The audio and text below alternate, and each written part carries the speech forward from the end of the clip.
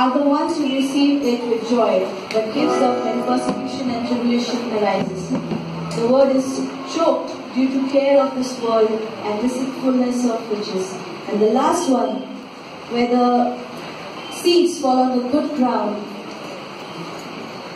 they bring forth fruit, some hundred, some sixty, and thirty-four.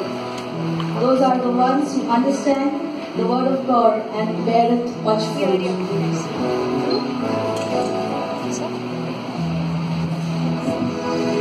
Yeah, well, let's